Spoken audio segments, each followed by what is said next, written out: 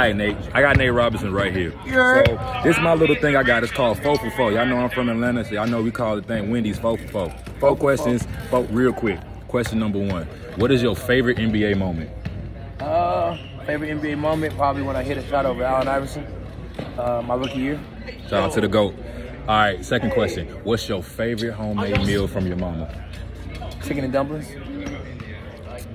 All right, third question. Growing up, what was your favorite video game? Tecmo Bowl. Y'all don't even know about Super Tecmo Bowl. Y'all had on that no, Tecmo Bowl for sure. Y'all had no idea.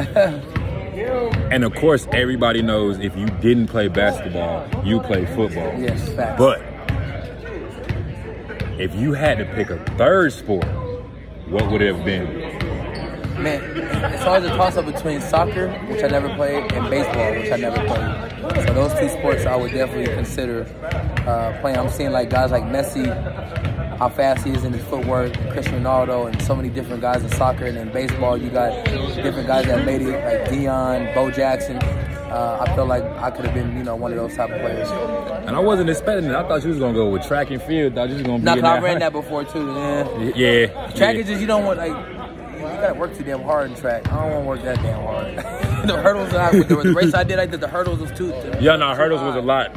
Like I got y'all see y'all know I got the one foot bounce, but I did hurdles and I was like, this is too much. Too much. Appreciate you, Yes, sir. brothers. That's another four for four. Four for four. Yes, sir.